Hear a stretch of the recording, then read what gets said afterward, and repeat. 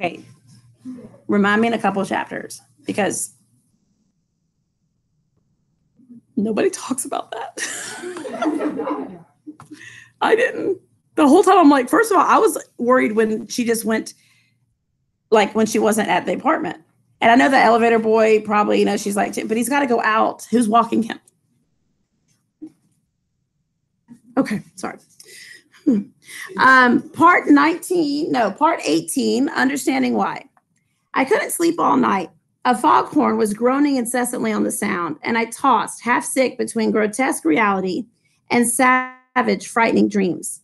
Toward dawn, I heard a taxi go up to Gatsby's Drive, and immediately I jumped out of bed and began to dress. I felt that I had something to tell him, something to, to warn him about, and morning would be too late. Crossing his lawn, I saw that his front door was still open, and he was leaning against a table in the hall, heavy with dejection or sleep. Nothing happened, he said wanly. I waited, and almost four o'clock, she came to the window and stood there for a minute and then turned out the light. So she did follow the plan. I'm safe. I'm going to bed. His house had never seemed so enormous as it did to me that night when we hunted through the great rooms for cigarettes. We pushed aside curtains that were like pavilions and felt over innumerable feet of dark wall for electric light switches. Once I tumbled with a sort of splash upon the keys of a ghostly piano. There was an inexplicable amount of dust everywhere, and the rooms were musty as though they hadn't been aired for many days. Why this house that, you know, is huge and wonderful and they had all these parties in, why is it suddenly dusty and smells musty? Remember, they, they fired the people that were cleaning it, and people haven't been in there because he had Daisy over and he didn't want all the witnesses, right? So they haven't really, so it's kind of like, and you know, if people aren't in a place, dust happens pretty fast, you know, and then there's a smell that is just kind of like closed up, you know. I found the humidor on an unfamiliar table with two stale dry cigarettes inside. Throwing open the French windows the, of the drawing room, we sat smoking out into the darkness. You ought to go away, I said. It's pretty certain they'll trace your car. Go away now, old sport? Go to Atlantic City for a week or up to Montreal. He wouldn't consider it. He couldn't possibly leave Daisy until he knew what she was going to do. He was clutching at some last hope, and I couldn't bear to shake him free. Okay, so underline that. He's got this eternal optimism, right? He's got this hope. He doesn't, you know, change his mind about what he wants to happen or what he knows is going to happen. He was clutching at some last hope and couldn't be- I couldn't bear to shake him free. Okay, so now remember back in like chapter six when he told us all about Dan Cody and all of that? And I told you that it didn't happen right then. This is when he actually told Nick all of this. Okay, it's in the middle of the night. It's after or like in the early morning. They're sitting there, um, and this is when Gatsby tells him the truth about the past because this is when it kind of is needed. Okay, Nick just shares it with us earlier. It was this night that he told me the strange story of his youth with Dan Cody. Told it to me because Jay Gatsby had broken up like glass against Tom's hard malice, and the long secret extravaganza was played out. I think that he would have acknowledged anything now without reserve, but he wanted to talk about Daisy. She was the first nice girl he had ever known. In various unrevealed capacities, he had come in contact with such people but always with indiscernible barbed wire between. He found her excitingly desirable. He went to her house, at first with other officers from Camp Taylor, then alone. It amazed him. He had never been in such a beautiful house before. But what gave it an air of breathless intensity was that Daisy lived there. It was as casual a thing to her as his tent out at camp was to him. There was a ripe mystery about it a hint of bedrooms upstairs more beautiful and cool than other bedrooms, of gay and radiant activities taking place through its corridors, and of romances that were not musty and laid away already in lavender, but fresh and breathing and redolent of this year's shining motor cars, and of dances whose flowers were scarcely withered. It excited him, too, that many men had already loved Daisy.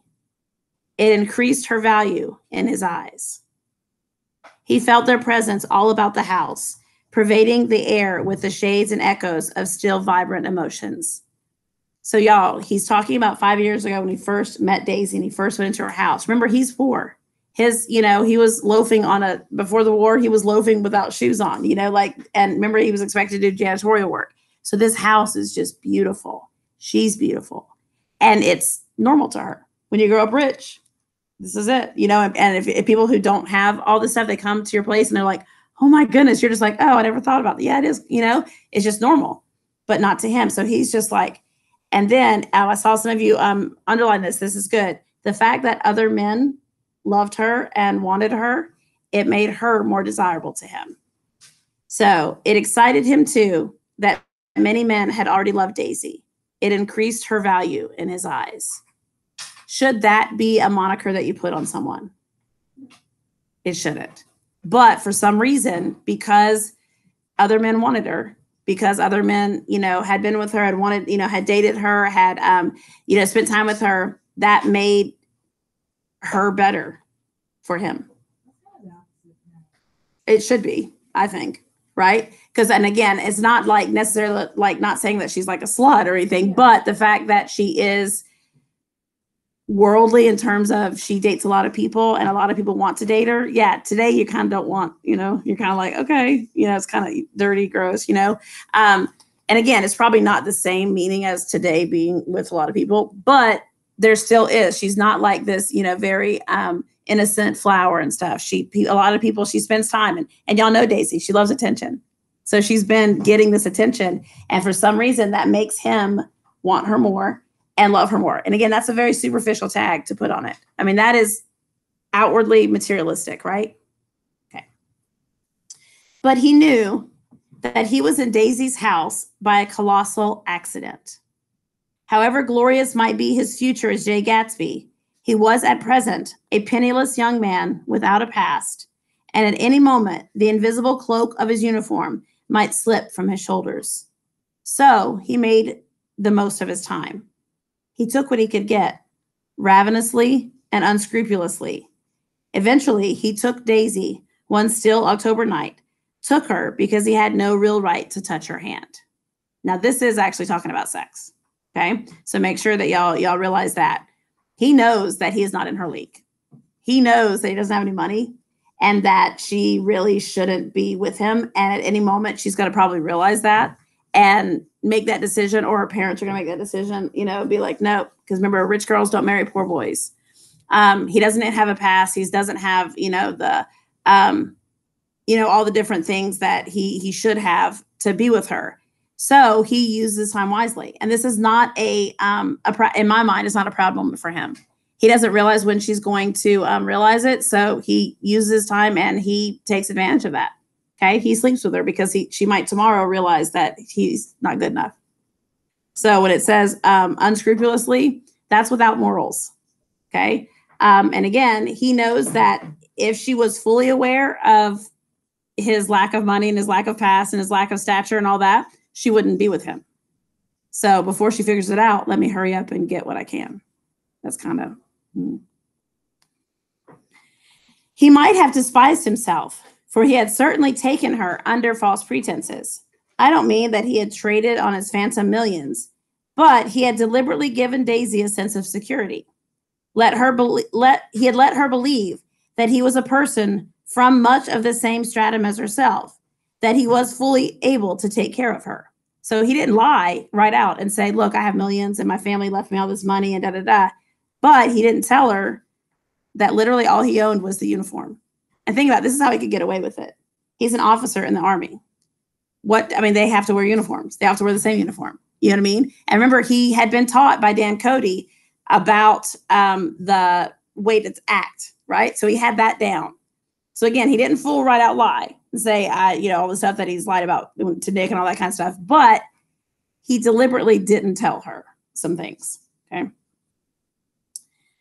Um, as a matter of fact, he had so much, he had no such faculties. He had no comfortable family standing behind him, and he was liable at the whim of an impersonal government to be blown anywhere about the world. But he didn't despise himself, and it didn't turn out as he had imagined. He had intended probably to take what he could and go. So he was literally like some people do, not just men, Some people just think they're going to have sex with somebody and get what they can for the couple nights or that night and, and leave and not think about it. But he fell for. He he caught feelings. Is that what it is? uh, sorry. he had intended probably to take what he could and go, but now he found that he had committed himself to the following of a grail. He knew that Daisy was extraordinary, but he didn't realize how just how extraordinary a nice girl could be. She vanished into her rich house, into her rich, full life, leaving Gatsby nothing. He felt married to her, and that was all. When they met again two days later, it was Gatsby who was breathless, who was somehow betrayed. Her porch was bright, and the bought with the bought luxury of the starshine, the wicker of the settee squeaked fashionably as she turned toward him, and he kissed her curious and lovely mouth. She had caught a cold, and it made her voice huskier and more charming than ever. And Gatsby was overwhelmingly aware of the youth and mystery that wealth imprisons and preserves, of the freshness of many clothes, and of Daisy, gleaming like silver, safe and proud above the hot struggles of the poor. So, in those two days, he realizes, wow, you know, like I, I want to be with her and I got to do everything I can to be with her. Uh, when before it was just, all right, let's just sleep together tonight and then, you know, not really worry about it. And again, part of her beauty, you guys, is because of how rich she is. It's because of what she has. It's because of the life that she lives. That's part of her beauty. Life lesson don't let that be part of who you fall for. Okay. Money and status does not, you know what I mean? Like, but this, I'm going to read the rest of this as a cautionary tale. I can't believe, no, I can't describe to you how surprised I was to find out I loved her old sport. Underline that. I can't describe to you how surprised I was to find out I loved her old sport. I even hoped for a while that she'd throw me over, but she didn't because she was in love with me too. So for a while, he's like, maybe she'll break up with me. You know what I mean? Like, and maybe I can get um out, like I'll be heartbroken, but but she didn't because she loved him too. She thought I knew a lot because I knew different things from her. Well, there I was, way off in my ambitions, getting deeper in love every minute. And all of a sudden, I didn't care. What was the use of doing great things if I could have a better time telling her what I was going to do? On the last afternoon before he went abroad, he sat with Daisy in his arms for a long, silent time. It was a cold fall day, with fire in the room and her cheeks flushed. Now and then she moved, and he changed his arm a little. And once he kissed her dark, shining hair. The afternoon may had made them tranquil for a while, as if to give them a deep memory for the long parting the next day promised. They had never been closer in their month of love, nor communicated more profoundly one with another than when she brushed silent lips against his coat shoulder or when he touched the end of her fingers gently as though she were asleep. So, how long were they actually together? A month. But he fell hard. She fell hard. Um, obviously, he fell hard.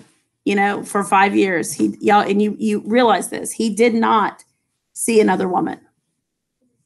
Yeah, he did not. I mean, yeah, you know what I mean. And it's one of those like every every choice he made, everything he did in the war, everything was to get back to Daisy, and that was the plan. Um, say what you will about him, you know, like obviously, um, like lady said, simp or whatnot, but commitment.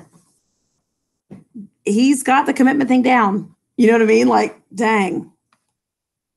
He did extraordinarily well in the war. He was a captain before he went to the front. And following the Argonne battles, he got his majority and the command of his divisional machine guns. After the armistice, he tried frantically to get home, but some complication or misunderstanding sent him to Oxford instead. He was worried now. There was a quality of nervous despair in Daisy's letters. She didn't see why he couldn't come. She was feeling the pressure of the world outside, and she wanted to see him and feel his presence beside her and be reassured that she was doing the right thing after all. What is the right thing?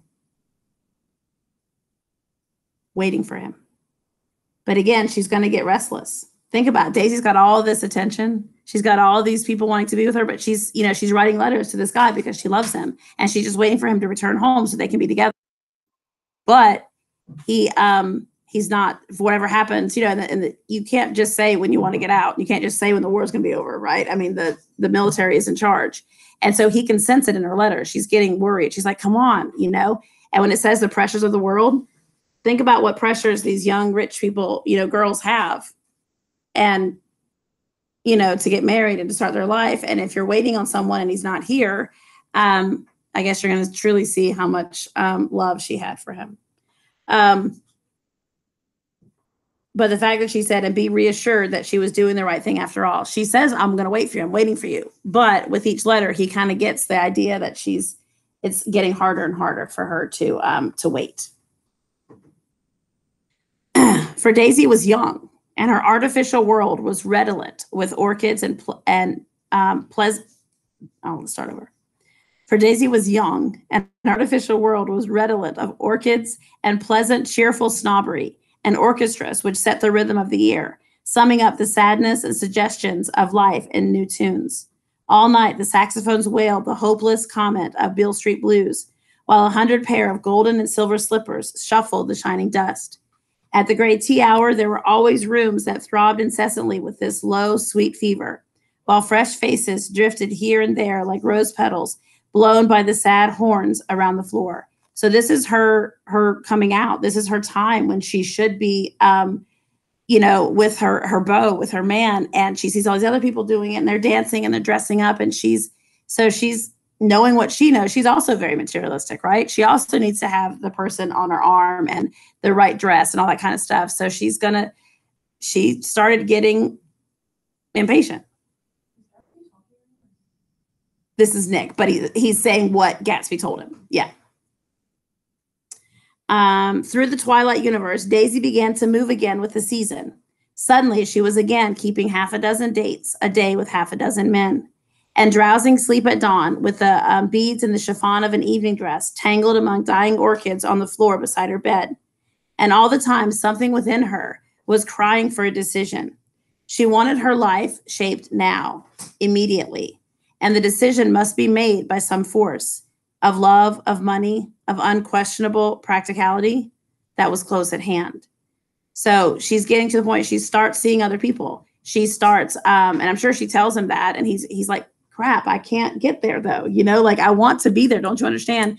But she's lost patience, and she wants her life to start. She sees it, and I've told probably told you guys this before, but when I turned 30 that year, when all my friend group from college and high school turned 30, I went to seven weddings.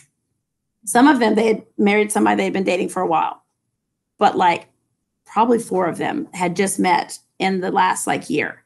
They freaked out because they didn't want to be 30 and single. That was what society told them. You're not supposed to be 30 and single.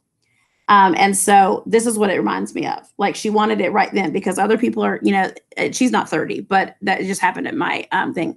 And literally within five years, like four of them are divorced. You know what I mean? Because it wasn't right. And they rushed into it. But she could not wait. She wanted to have the house and the status and the husband and, you know, all that kind of stuff.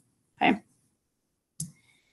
That force took shape in the middle of spring with the arrival of Tom Buchanan.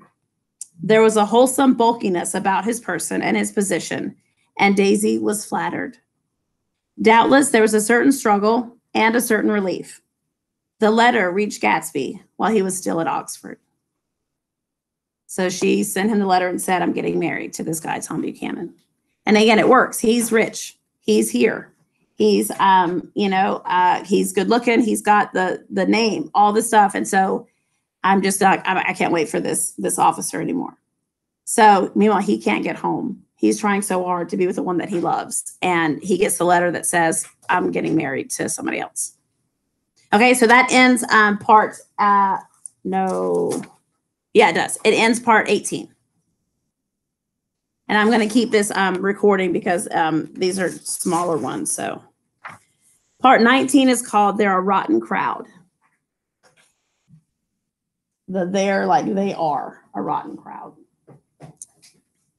It was dawn now on Long Island, and we went about opening the rest of the windows downstairs, filling the house with gray tuning, gold turning light. The shadow of a tree fell abruptly across the dew, and ghostly birds began to sing among the blue leaves. There was a slow, pleasant movement, movement in the air, scarcely a wind, promising a cool, lovely day. I don't think she ever loved him. Gatsby turned um, around from her window and looked at me challengingly. You must remember, old sport, that she was very excited this afternoon. He told her those things in, in a way that that frightened her, that made it look as if I was some kind of cheap sharper. And the result was that she hardly knew what she was saying. Does it sound like he's convincing Nick or himself? Right. And so he's like, you know, and of course he's thinking about it, you know, going back. And we always do that. We always relive every little thing that happened, right? And try to rationalize it and make it work for the way we want it to work. He sat down gloomily. Of course, she might have loved him just for a minute, even when they were fir- uh, when they were first married, but loved me even more then. Do you see? Suddenly, he came out with a curious remark. In any case, he said, "It was it was just personal. What could you make of that, except to suspect some intensity in his conception of the affair that couldn't be measured? So he the the way he saw the affair, the way he saw the relationship, was definitely um, that part of it was one sided. She loved him, of course, but not enough to wait, and definitely not enough to um, right then or right now not be with him. Okay, because remember she went to sleep but today is the day where she should be packing up, leaving Tom, and coming over, right?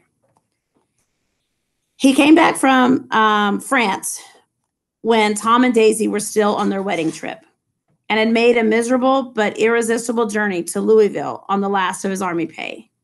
He stayed there a week, walking the streets where their footsteps had clicked together through the November night and revisiting the out of the way places to which they had driven in her white car. Just as Daisy's house had always seemed to him more mysterious and gay than other houses, so his idea of the city itself, even though she was gone from it, was pervaded with a melancholy beauty. So, y'all, he knew she wasn't going to be there. He knew that she was married and gone, but he still used the last of his money to go back and just be where she was. Like, that's commitment. You know what I mean? Like, so he goes and he visits all these out of the way places where they went and again, he doesn't know what he's going to do now. He's out of the army. He doesn't have any money. Um, so he left, feeling that if he had searched harder, he might have found her, that he was leaving her behind. The day coach, he was penniless now, was hot. He went out to the open vestibule and sat down on a folding chair, and the station slid away, and the backs of unfamiliar beings, buildings, sorry, moved by. Then out into the spring fields, where a yellow trolley raced them for a minute with the people in it who might once have seen the pale magic of her face along the casual street. Again, very melodramatic, right? He's leaving and I mean he's he's on the, the train out of town and he's like, he sees people and he's like, I wonder if they ever saw her. You know what I mean? Like I just I mean, and, and on one side you're like, yeah, that's like true commitment and that's like love. And then on the other side, I'm like, dude, she's married you know, like life is too short. Like, huh. so yeah, I'm, I'm stuck in the middle there. Uh, the track curved, and now it was going away from the sun, which, as it sank lower, seemed to spread itself in benediction over the vanishing city where she had drawn her breath. He stretched out his hand desperately, as if to snatch only a wisp of air, to save a fragment of the spot that she had made lovely for him. I do like that line um, to save a fragment of the spot that she had made lovely for him. He remembers that time, and she did make him very happy right then. You know what I mean? But it was all going by too fast now for his blurred eyes, and he knew that he had lost that part of it, the freshest and the best, forever. It was nine o'clock when we finished breakfast and we went out into the porch. The night had made a sharp difference in the weather, and there was an autumn flavor in the air. The gardener, the last of one of Gatsby's former servants, came to the foot of the steps. I'm going to drain the pool today, Mr. Gatsby. The leaves will start falling pretty soon, and then there's always trouble with the pipes. Don't do it today, Gatsby answered. He turned to me apologetically. You know, old sport, I haven't used that pool all summer. He looked at my watch. I looked at my watch and stood up. 12 minutes to my train. Y'all, Nick has to go to work. My man has been, you know, in talking with him all night. He got up at four, and now it's almost, you know, whew. I didn't want to go to the city.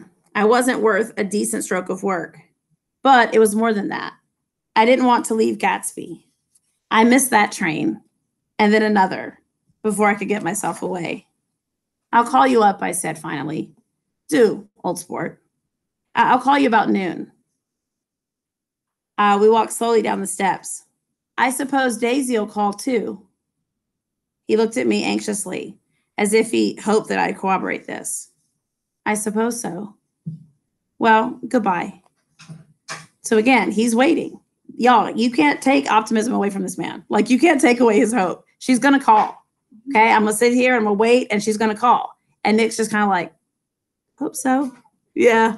He doesn't want to like break that. You know, like when you have somebody that optimistic, you don't want to be the one that's the the you know the the naysayer, but uh, we shook hands and I started away. Just before I reached the hedge, I remembered something and turned around. They're a rotten crowd, I shouted across the lawn. You're worth the whole damn bunch put together. Who's he talking about? Tom, Daisy, Jordan. I mean, think about it. And again, I don't know who Gatsby thinks that he's talking about, um, but he's definitely including Daisy on that, right? He doesn't say it, but but um, so highlight that. They're a rotten crowd. You're worth a whole damn bunch put together. I've always been glad I said that. It was the only compliment I ever gave him because I disapproved of him from beginning to end. First, he nodded politely, and then his face broke into that radiant and understanding smile, as if we'd been in ecstatic cahoots on that fact all the time. His gorgeous pink rag of a suit made a bright spot of color against the white steps, and I thought of the night when I first came to his ancestral home three months before.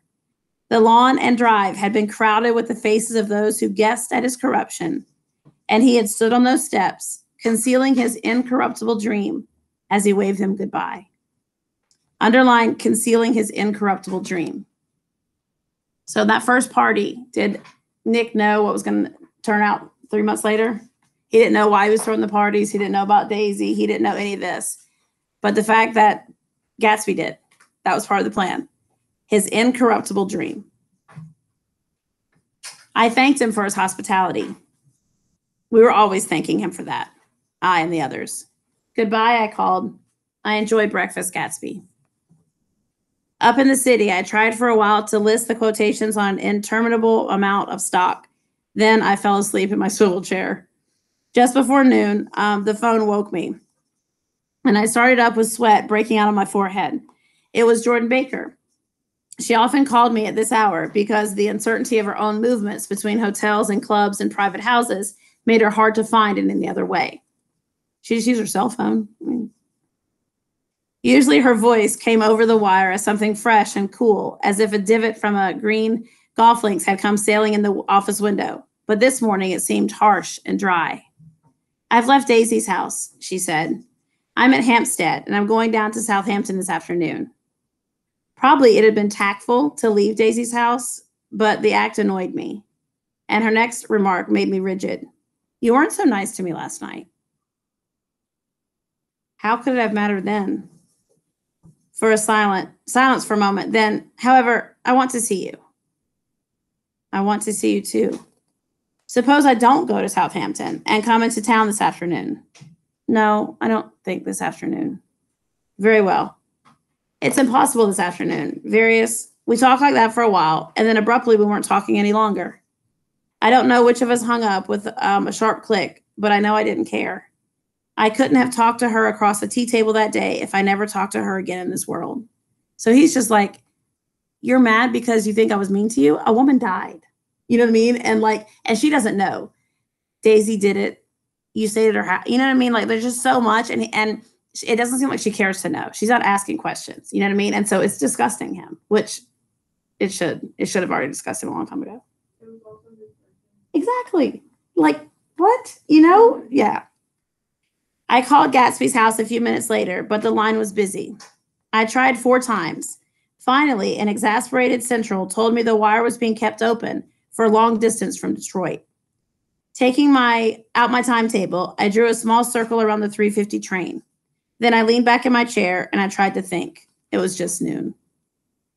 So back then you had operators on the phone. Okay. And you can get people to like, or you could get them to like break in, like if there was somebody actually talking. But apparently he wasn't actually on the phone, but he wasn't taking any calls except for this specific one from Detroit, is what the operator told him. Okay. All right. So that's the end of 19.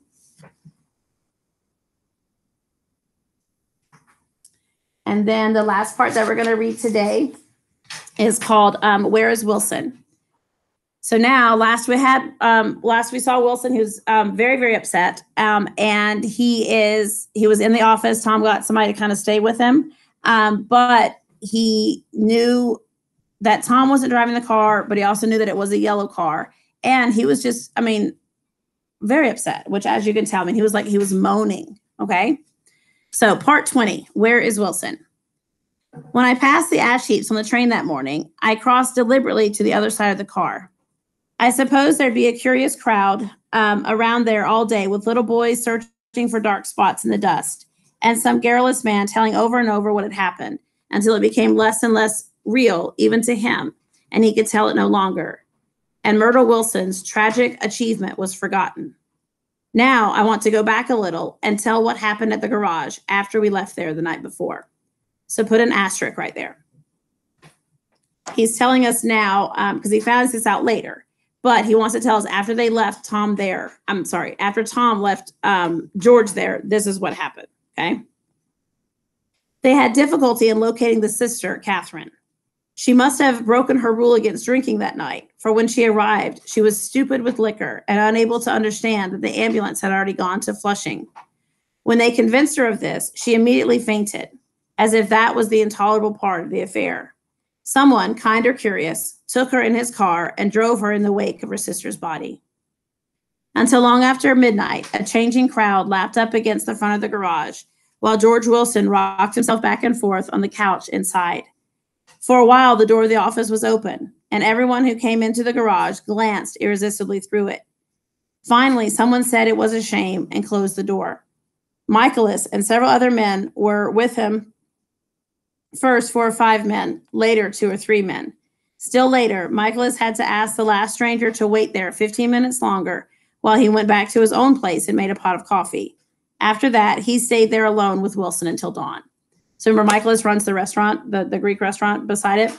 Um, and so George, he doesn't have a bunch of friends. You know what I mean? He had his wife and she's gone. And so literally these people are being kind, but they're pretty much the strangers.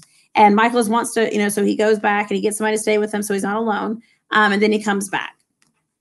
About three o'clock, the quality of Wilson's incoherent muttering changed.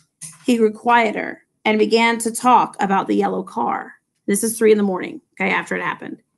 He announced that he had a way of finding out whom the yellow car had belonged to.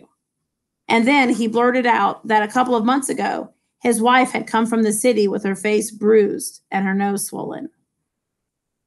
Okay. And if I'd never thought about that until I read this first time, I'm like, yeah, how did she explain that?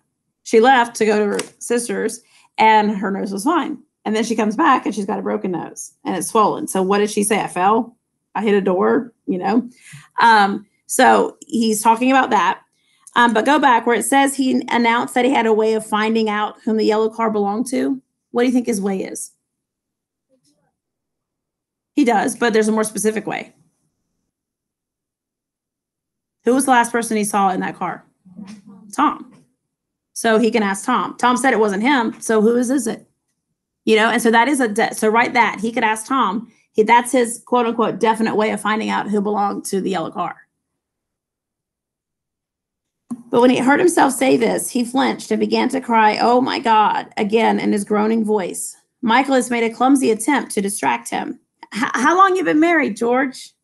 Come on there. Try, try to sit still a minute and answer my question. How long you been married? 12 years. Ever had any children? Come on, George, sit still. I asked you a question. Did you, did you ever have any kids?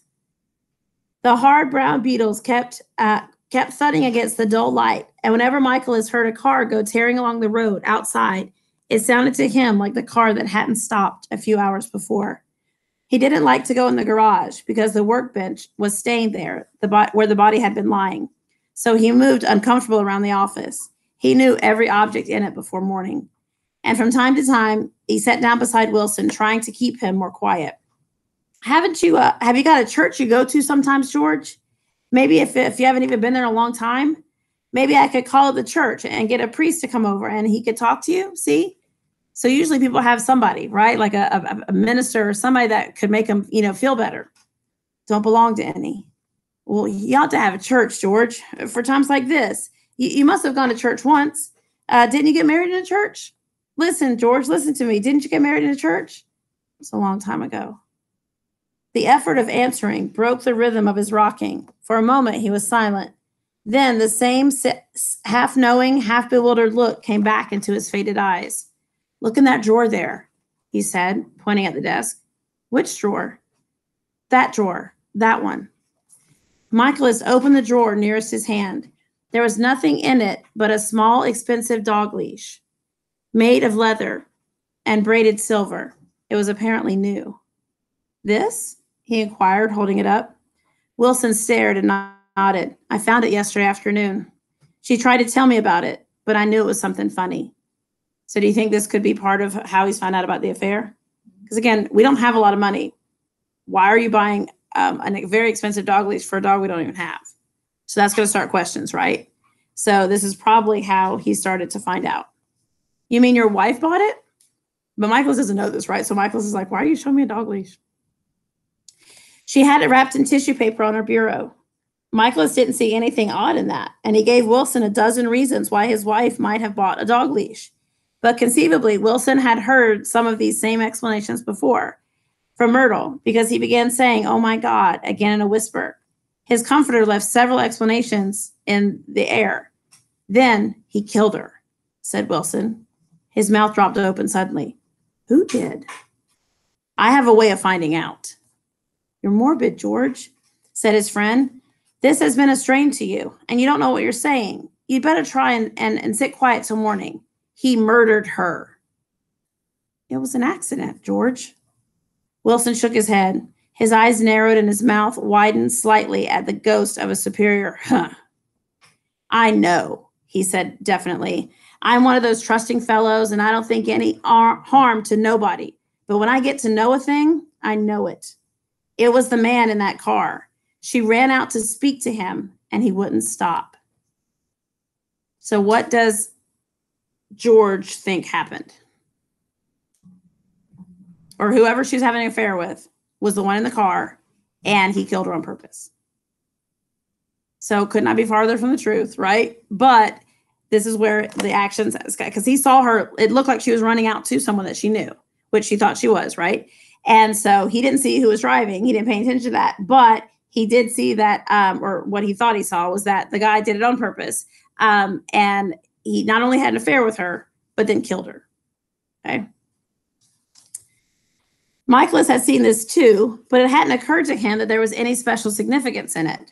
He believed that Mrs. Wilson had been running away from her husband rather than trying to stop any particular car. Remember, Michaelis knew that he he told him he's like, I got my wife kept up there, so he saw it as her leaving, and it, literally like it was an accident. How could she have been like that? She, she's a deep one, said Wilson, as if that answered the question. He began to rock again, and Michaelis stood twisting the leash in his hand. Maybe you got some some friend I could telephone for, George? This was a forlorn hope. He was almost sure that Wilson had no friend. There was not enough of him for his wife. You understand that? Just very like it was his whole life was her. You know what I mean? And it just wasn't um, his own man. We've already talked about that, but there wasn't enough of him for his wife.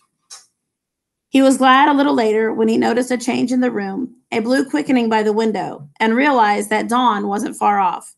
About five o'clock, it was blue enough outside to snap off the light. Wilson's glazed eyes turned toward the ash heaps where small gray clouds took on fantastic shapes and scurried here and there in the faint uh, dawn wind. I spoke to her, he muttered after a long silence. I told her she might fool me, but she couldn't fool God. I took her to the window. With an effort, he got up and walked over to the rear, um, rear window and leaned with his face um, pressed against it. And I said, God knows what you've been doing, everything you've been doing. You may fool me, but you can't fool God. What is he looking out at, do you think? It's right where the eyes of Dr. TJ Eckleburg are looking down. And so he said he took he, he took her to the window and he's like, You can fool me, but you can't fool God. Well, Michael sees that and he's like, That's a billboard, dude. Do it. Do it. No, he was just the billboard of the eyes. And he's like, That's God. God saw you. Uh, just Michaelis is a really good friend because I'd be like, um, standing behind him, Michaelis saw with a shock that he was looking at the eyes of Dr. T.J. Eckleburg, which had just emerged, pale and enormous, from a dissolving night. God sees everything, repeated Wilson. That's an advertisement. Michaelis assured him. Something made him turn away from the window and look back into the room. But Wilson stood there a long time, his face close to the open to the window pane, nodding into the twilight. By six o'clock, Michaelis was worn out and grateful for the sound of a car stopping outside. It was one of the watchers from the night before who had promised to come back, so he cooked breakfast for three, which he and the other man ate together. Wilson was quieter now, and Michaelis went home to sleep. And when he awoke four hours later and hurried back to the garage, Wilson was gone. His movements, he was on foot all the time, were afterwards traced to Port Roosevelt and then to Gad's Hill, where he bought a sandwich that he didn't eat and a cup of coffee. He must have been tired and walking slowly, for he didn't reach Gad's Hill until noon. Thus far, there was no difficulty in accounting for his time. There were two boys who had seen a man acting sort of crazy, and motorists at whom he had stared oddly from the side of the road. Then, for three hours, he disappeared from view. The police, on the strength of what he had said to Michaelis that he had a way of finding out, supposed that he spent that time going from garage to garage thereabout, inquiring of a yellow car. So this is much later. They realized where you know people saw him. Okay, he went here, and the, these kids saw him. And then they went here. He was looking at me kind of crazy for three hours. Nobody saw him, so they didn't really know. But they just the police just assumed that is there going to be damage to the car? Yeah. So the car's got to be taken to a garage, right? So his way of finding out, they just assumed what his was him going to different garages and seeing if anybody brought in a car that needed to be fixed. I'm about to be really irreverent right now, but y'all, Myrtle was a big girl. There was a lot of damage to the car. Sorry. Sorry. But I'm not wrong. Um, okay, so they just assumed that's where he was. Okay. Um, on the other hand, no garage man who had seen him ever came forward. And perhaps he had an easier, surer way of finding out what he wanted to know which we know is what? Asking Tom. By half past two, he was in West Egg, where he asked someone the way to Gatsby's house. So by then, he knew Gatsby's name. At two o'clock, Gatsby put on his bathing suit and he left word with the butler that if anyone phoned, word was to be brought to him at the pool. He stopped at the garage for a, it's like a floaty, mattress that ha- had amused his guests during the summer, and the chauffeur helped him pump it up. Then he gave instructions that the open car wasn't to be taken out under any circumstances. And this was strange because the front right fender needed repair. Gatsby shouldered the mattress and started for the pool. Once he stopped and shifted a little, and the chauffeur asked him if he needed some help, but he shook his head and in a moment disappeared among the yellowing trees. No telephone message arrived. But the butler went without sleep and waited for it until four o'clock, until long after there was anyone to give it to if it came. I have an idea that Gatsby himself didn't believe it would come, and perhaps he no longer cared. If that was true, he must have felt that he had lost the old warm world, paid a high price for living too long with a single dream. He must have looked up at the unfamiliar sky through frightening leaves and shivered as he found what a, gro- what a grotesque thing a rose is, and how raw the sunlight was upon the scarcely created grass. A new world, material without being real, where poor ghosts, breathing dreams like air, drifted fortuitously about, like the ashen, fantastic figure gliding toward him through the amorphous trees. The chauffeur, he was one of Wolfshiem's proteges, heard the shots. Afterwards, he could say only that he hadn't thought anything much about them. I drove from the station directly to Gatsby's house, and my rushing anxiously up to the front steps was the first thing that alarmed anyone. But they knew then, I firmly believe. With scarcely a word said, four of us, the chauffeur, butler, gardener, and I, hurried down to the pool. There was a faint, barely perceptible movement of the water as the fresh flow from one end urged its way toward the drain at the other. With little ripples that were hardly the shadows of waves, The laden mattress moved irregularly down the pool.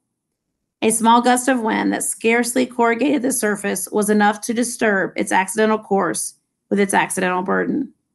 The touch of a cluster of leaves revolved it slowly, tracing like the leg of a transit, a thin red circle in the water. It was after we started with Gatsby toward the house that the gardener saw Wilson's body a little way off in the grass, and the Holocaust was complete. What happened?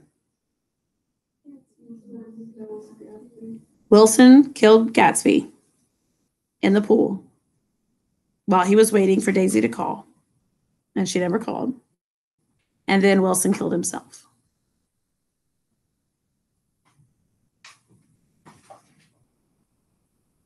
Yeah. So that's where we're stopping. But go back to where now, obviously, we know it's foreshadowing, but underline the part where it said, um,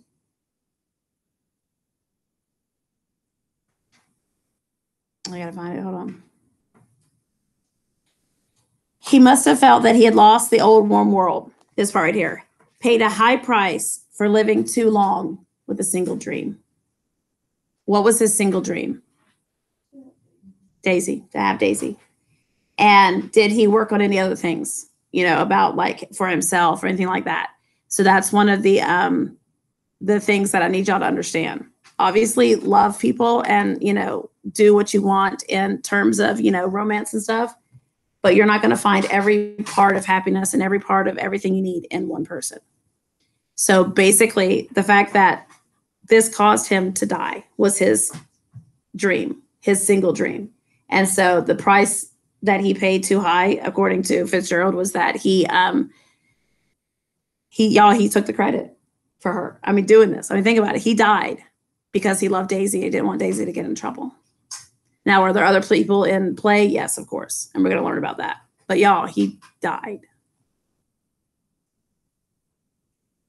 So there's a part in the film that I'm going to show you a little bit later um, where when it happens, and it didn't happen in the book, but when it happens, he's getting out of the pool because he hears the phone ring and he thinks it's Daisy because she's going to finally call. He's waiting. He's been waiting all morning and he gets up to um, to answer it. Well, that's when he gets shot and it makes it Hollywood did this, made it look like he died thinking that Daisy had finally called.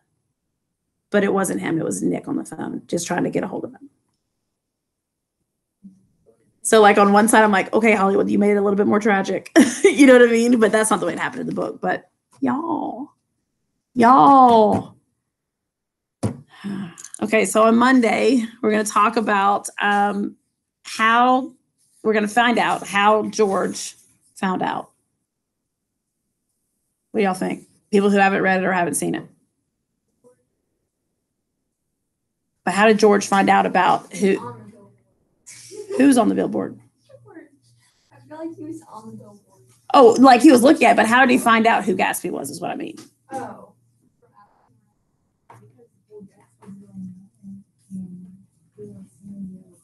and the car is pretty famous right because people have been yeah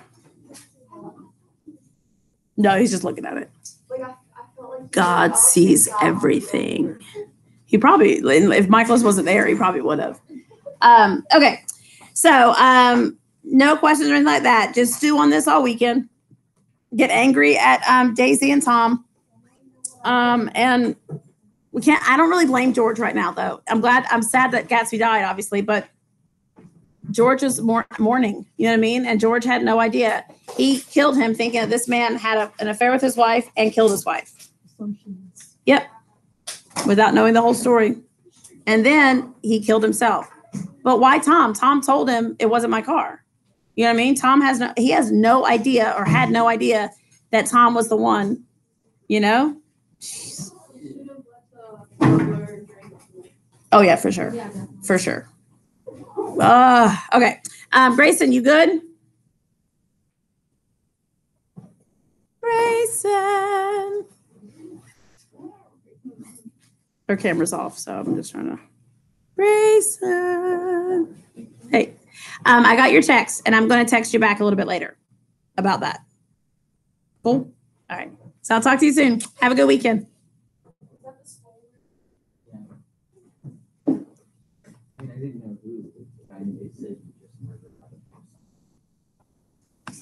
So did you know too? Also, I didn't know who was dying. Oh, you just know somebody did. Oh. I was on YouTube, like a clip that said "murder by the poolside." I didn't watch it though. I know, but why would they put that on the thing? That's so bad.